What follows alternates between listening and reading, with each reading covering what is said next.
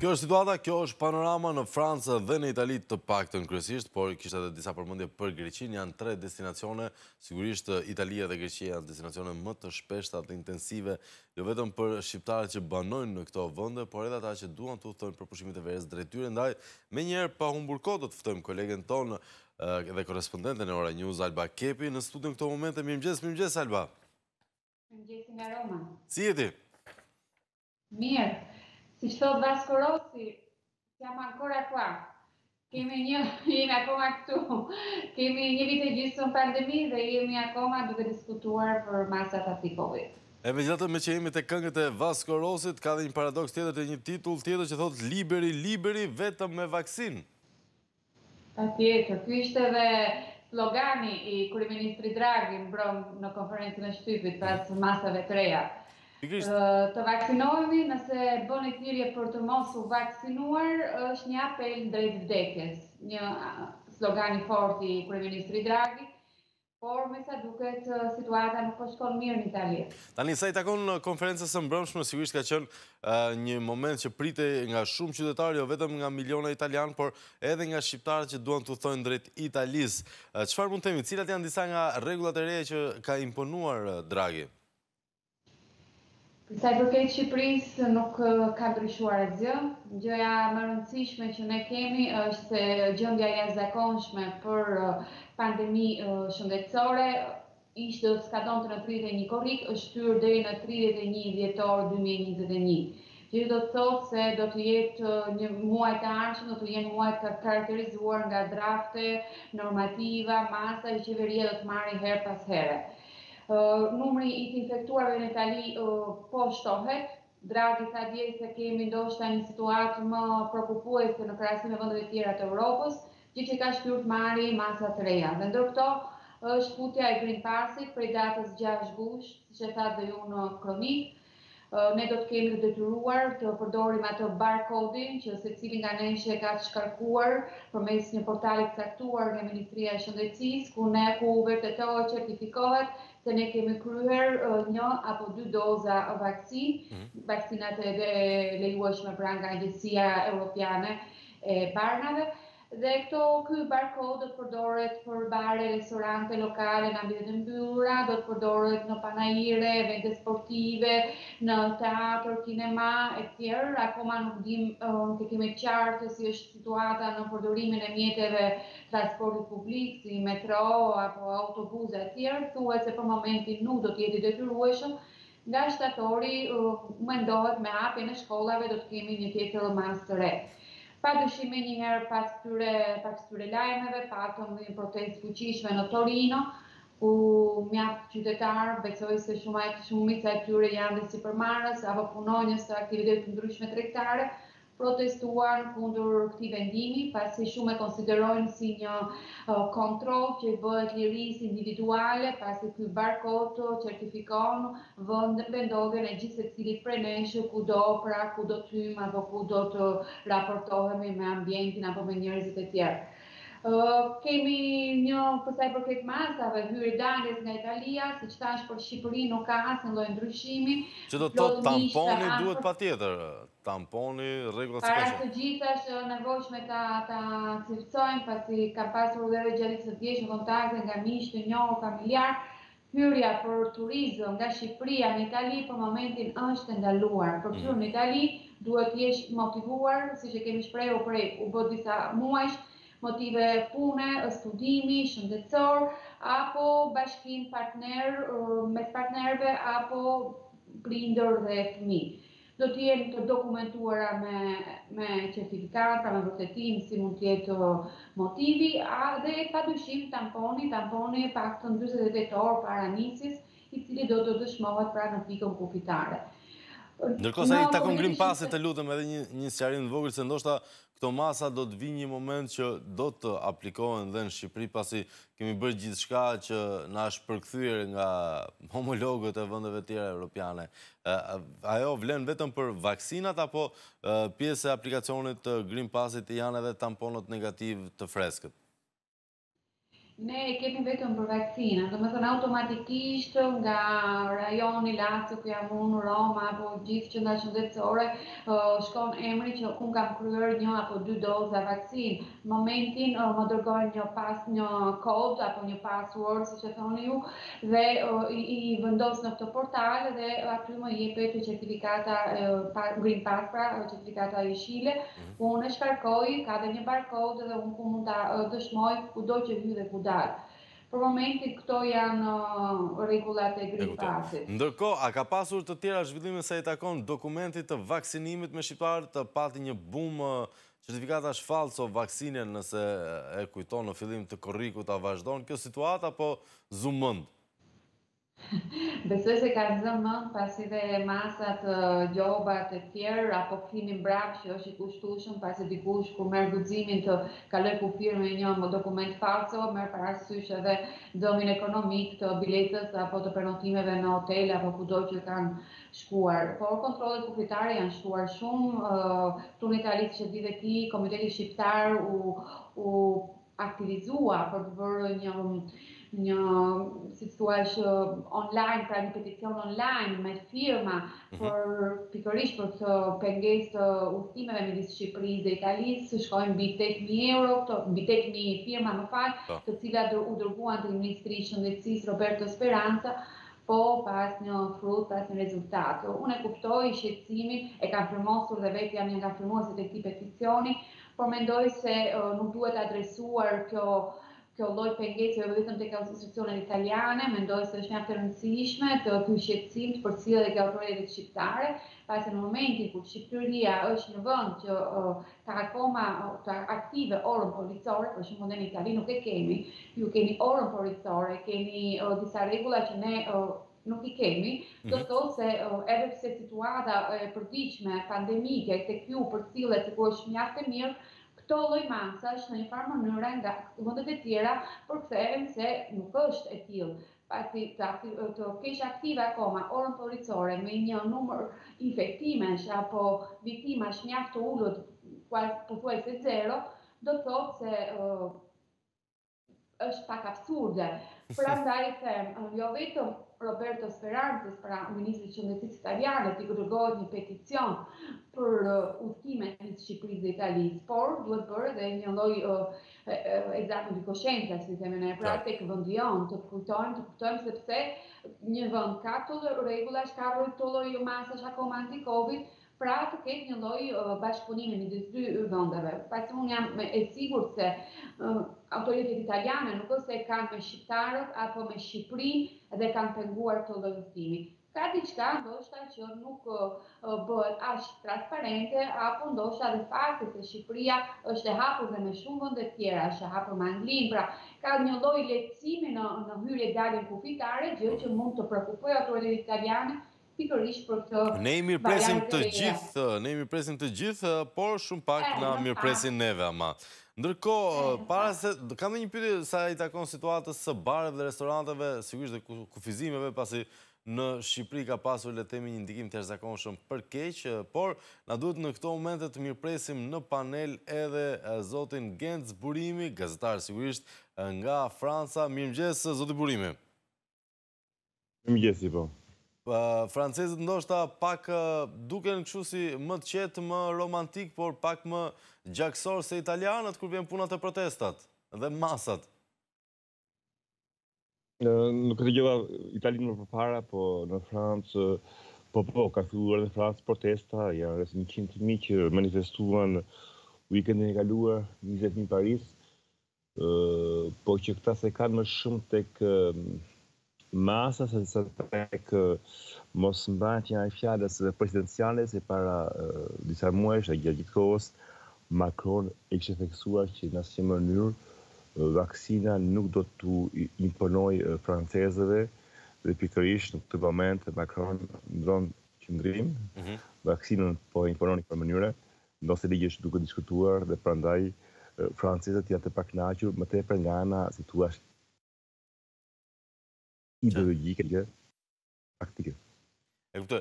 Ndërkohë, cilat janë shifrat nëse mund të kemi një panoramë të përafërt të vaksinimeve? Edhe në Shqipëri në fakt ka ndodhur një rënie pas moshës së tretë, e cila rrinte në radhë në mes të diellit në sheshin Skënderbej, duket se brezat e tjerë nuk e kanë me aq qejf të vaksinohen, shifrat janë Tmerrësisht të ulëta përjashto ata që patjetër do ta bëjnë për arsye udhëtimi apo shëndetësore. Në Francë, cilat mund të jenë, cilat janë raportet, zoti Burimi?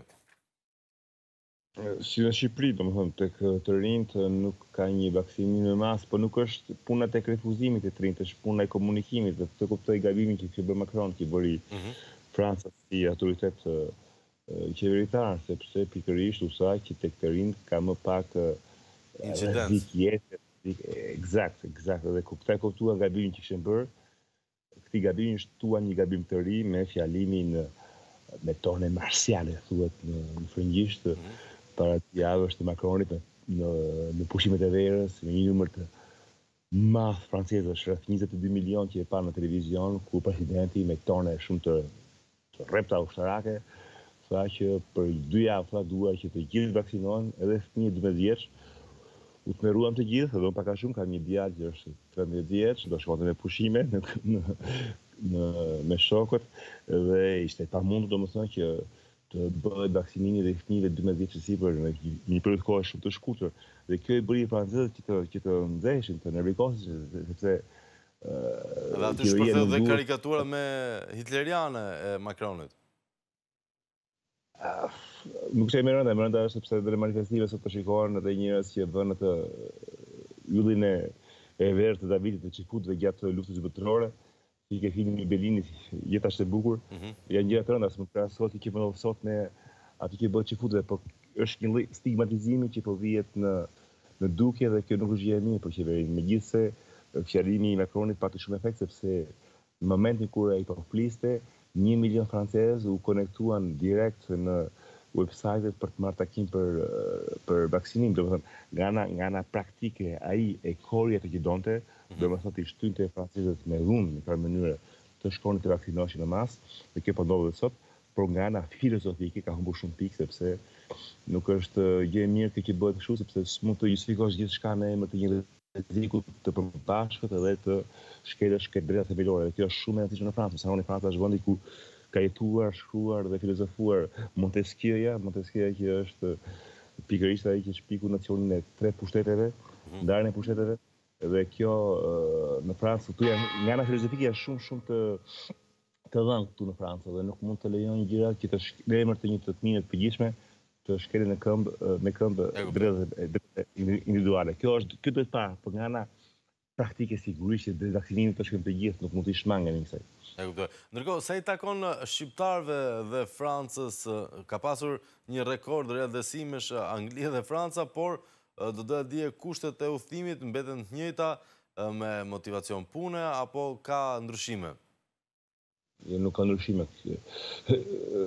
Franca është dhe vend pragmatist, e di fare mirë që vendi mbahet shumë nga turizmi dhe që për francezët turizmi kryesor vjen nga Kina, domethënë kur lejon Të vijë turisti nga Kina lejon gjithçka. Pra këta kanë një kanë një një një dogmë të përbashkët nëse ke atë pashaportën vaksinale, domethënë që i ke bërë dy vaksinat ti hyn në Francë pa asnjë problem. Qartë, por duhen dy vaksinat. Kështu që ky është një problem. Po kjo është dhe për ne, që jemi këtu. E qartë, e qartë. Unë, unë, unë, akoma s'e kam bërë vaksinën e dytë, e kam, do ta bëj nesër, pikërisht, mm. jam me pushime në jug të Francës, do kthehem Paris, pikërisht nesër, jam 1000 km të kthehem Paris, për të bërë vaksinën e dytë, dhe nuk mund të shkoj në asnjë muze, asnjë restorant, asnjë është, është e pamundur. E qartë, pra masat e reja të Italisë, ndërkohë kanë ekzistuar, janë aplikuar më herët në Francë. Në Francë, fillimi i aplikimit ishte nga data e djeshme, po 22 korrik, po fjalimin e mbajti Macron e mbajti para dy javësh dhe tha 22 korrik e më vonë. Asnjë s'do shkojë dot në restorant, s'do shkojë në në kinema, në po, muze. Askund, askund praktikisht. Jo, pres, po unë kur dëgjova fjalimin para dy javësh thashë është është çmendur, s'mund ta bëjë, se ai tha s'do shkojë as në supermarket. Çfarë. U diskutua edhe buka gojës nga vaksina, do më thënë. Po, po, kjo, do më thënë, kjo, kjo ndërhyri sigurisht, ndërhyri këtu është gjykata e lartë e i dha mendim që s'mund të privosh njeri nga të hajë bukë sepse biles ai ai çoi dhe, dhe në spital s'mund të shkojë pa vaksinë. Do të thotë ai që është i pa vaksinuar, në spital vaksinohesh, do të ishte diçka surrealiste. Por duke mbajtur një fjalim shumë të rëndë, Një fjalim shumë me tone shumë të forta pikërisht që shkon në një ekstrem për të arritur një ekstrem në rritjen e vaksinimeve dhe këtë ai arriti. Tani një farë mënyre po lëshon pak ligjin, por gjërat themelore mbeten. Nuk mund të shkosh në kinema, në teatër, në muze etj. Me vaksinën s'ka shaka do të thotë. Alba, sapo e kuptuam të gjithë bashkë se çfarë do të ndodhi dhe me Italinë, por për t'iu rikthyer për herë të fundit pjesës së bareve, restoranteve dhe lokaleve në Shqipëri ka pasur protesta, përplasje, ka pasur edhe manovra gjysëm italiane, anashkalimi oraresh dhe muzike kuptohet për shkak të rregullave kufizuese të muzikës dhe orarit të qëndrimit të qytetarëve edhe pse gjithashtu ne presupozohet të futemi tek vendet me turizëm veror. Sa i takon Italisë dhe më pas Francës për zotin Burimin, a janë këto kufizime të shtrira tek mbarëvajtja e biznesit apo vetëm tek klienti që duhet të jetë i vaksinuar? Alba? Vendimi i fundit i marrë para pak orë më parë nga qeveria italiane bën që sipërmarrësi i lokalit, i barit e restoranteve do të gjobitet nga katërqind deri në një mijë euro nëse lejon të hyjnë në ambientin e tij, pra në lokalin e tij, persona të cilët nuk kanë prezantuar këtë certifikatën jeshile, pra këtë Green Pass-in. Pa dyshim, kjo do të kjo lloj gjobe mund të aplikohet dhe tek klienti, por në momentin që klienti kapet brenda ambientit të lokalit është në përgjegjësinë e pronarit të lokalit. Sa për ta lidhur pak me Francën, në këtu në Itali ka pasur një debat fort për atë që quhet modeli francez. Ka qenë një debat dhe brenda qeverisë, pasi është munduar që të evitohet ky lloj modeli, pra i këtyre masave kaq strikte që ka Franca. Por me sa duket Draghi nuk e ka evituar dhe ne jemi pothuajse në atë që quhet modeli francez. Është një debat mjaft i ndezur, unë kërkova ta nënvizoj sepse jam shumë dakord me atë që thotë Genci që fjalimi i Macron por dhe ajo çka aplikoi Franca në një farë mënyre po influencon dhe jo vetëm Italinë, po mendoj se po do shtrihet edhe në vendet e tjera. Italia është e justifikueshme me faktin se ne patëm kampionatin europian, patëm katër ndeshje që u luajtën, patëm fitoren e titullit të kampionit të Europës, gjë që solli një lloj lehtësie, një lloj rrëmuje, një lloj feste, një lloj manifestimi që ju i keni parë të përcjellë, pra njerëz të cilët festonin, Dhe thuhet se ndoshta ky lloj kontakti, kjo lloj morie e mijëra njerëzve që festonin nëpër sheshe apo ndiqnin skuadrën kampione nëpër rrugët e Romës, në një farë mënyre ka qenë dhe shkaku i këtij transmetimi, pra përcjelljes së virusit, infektimit nga njëri te tjetri dhe kemi një pra një këtë rritje të numrit të infektuarve që ndoshta do të vazhdojë pra derisa të përmbyllet ai cikli i pesëmbëdhjetë ditëve Deri me tani jemi pak a shumë tek një javë dhjetë ditë nga festimet dhe këto janë fruti, rezultati. Pra Italia ta themi më qartë po imitojnë pra modelin francez. Dhe meqë jemi te modeli francez, Genci, sa i takon kufizimeve në aspektin operativ të bizneseve, a ka një ndërhyrje te këto nga ana e qeverisë apo është e gjitha e kufizuar vetëm tek individi dhe green pass-i i tij? Sigurisht që dhe biznesi impaktohet, është e habitshme sepse kryetari i Federatës së Biznesit Francez para disa javësh, dy muaj bashkë me kryetarin e sindikatave të punëtorëve francezë, punonjësve, i kërkonin qeverisë në mënyrë solemne dhe kategorike që të detyronin francezët që të vaksinoheshin sepse pikërisht vaksinimi i bën mirë biznesit. Apo jo. Po. Por këta s'e prisnin që Macroni të shkonte, Macroni të shkonte shumë larg. Me këtë ligj që po bën Macroni, i thua pra nga 22 korriku, duhet që jo vetëm vizitorët në një muze, në një teatr, në një qendër tregtare të vaksinohen, por dhe punonjësit ku ata vetë punojnë duhet të vaksinohen. Dhe këtë nuk e priste biznesi, dhe kjo duhet të kjo i bie tani që nuk shkon dot në punë. Ju marr një shembull. Këta që punojnë për shembull me pleqtë. Kemi shumë punonjëse që shkojnë dhe bëjnë punë po. shtëpi te pleqtë. Jo, dhe këto punonjëse s'mund të shkojnë dot punojnë duke filluar që nga java e ardhshme, Në këtë rast, punëdhënësit janë E kuptoj. Vëndet punën e kalon debatin debatin e sanit. Pra, gjithçka nëse mund ta perifrazojmë shkurtimisht, gjithçka kaloi nga diktatura e karantinës dhe masave shtrënguese e orarit policor tek diktatura e, e vaksinës. Eksakt. Do të jetë përgjegjësi shumë e madhe e kësaj qeverie dhe e mbarë qeverive nëse një ditë zbulojmë që këto vaksina kishin një kleçk brenda. Nëse trupat tanë kanë kleçk brenda. Vazhdojnë teoritë konspirative në Francë? Nuk është teori konspirative, mos harroni që Franca dhe Perëndimi kanë dhe një tjetër ligj që quhet ligji pikërisht i si ta themi në shqip i Na e thuaj italisht, po.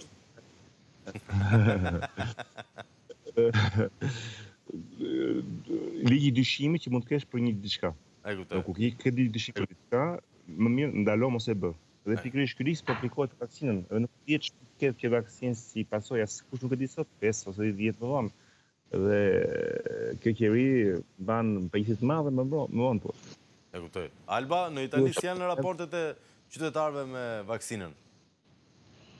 Po në një farë mënyre ne jemi një çik perplessi, një çik të personat që tashmë nuk po kuptojnë se ç'po ndodh. Na kërkuan tamponet, i pranuam, na kërkuan testet, i tampuam, tamponet molekulare, i pranuam, na kërkuan të vaksinohemi, i pranuam. Ne po vaksinohemi, por nuk po shohim ndonjë lloj fruti, çdo ditë regjistrohen infektime, çdo ditë kemi viktima, thuhet rezultatet janë, domethënë thuhet. Kemi shifra të cilat janë shumë pozitive, por në një farë mënyre ne prisnim që mbas një viti e gjysëm jemi të lodhur, jemi të lodhur Flavio siç jemi të lodhur të gjithë pasi Çdo çdo javë ti shikon që, qeveria italiane ka diçka të re, mendoj se në çdo vend të Europës ndodh, por këtu ndoshta prisnim që me verën të kishim një lloj më frymëmarrje, pasi thonin që virusi me ardhjen e temperaturave të larta në ajër bën që të ngordhë, pra të të eliminohet ky lloj virusi, por vazhdon të qarkullojë,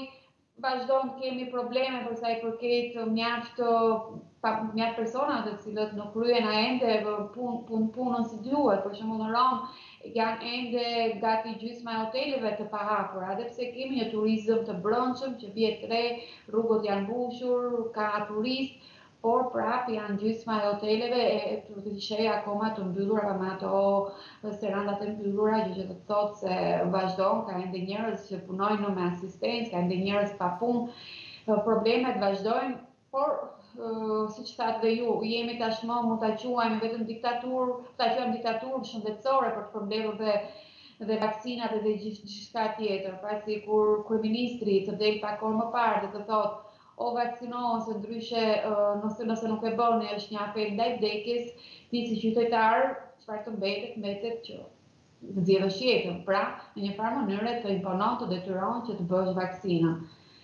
Ne shpresojmë, por në qoftë se tani në mes verës jemi në korrik, me këto temperatura që po shkojmë po në fund korriku, që jemi 35, gati 40 gradë, ke një lloj situate të tillë virusit, ça do presim nga shtatori, nga tetori, pra Këtu mendimi apo dyshimi është që po e shtyjmë dhe nga një muaj se ndoshta nga shtatori, nga tetori do të na mbyllin përsëri.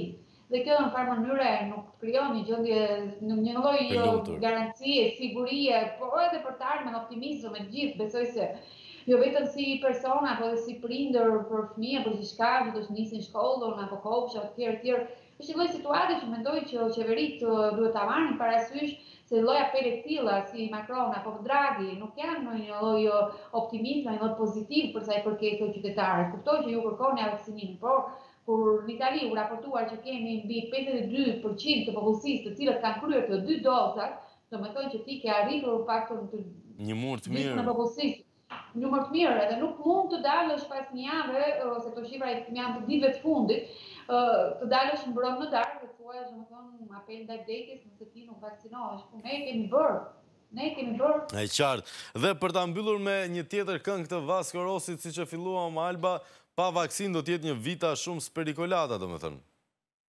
Si, pa dyshim, Vita spericolata është në një farë mënyre dhe një himn ndaj jetës, po nuk guzove, po nuk rrezikove dhe po nuk pate atë kurajo të mbështesësh tezat e tua, idetë e tua, idealet e tua, nuk ka kuptim jeta. Vasco Rossi është këngëtari im i preferuar, po me sa kuptoj dhe jo ti Flavio, jo, pra, vetëm, jo. Jo vetëm.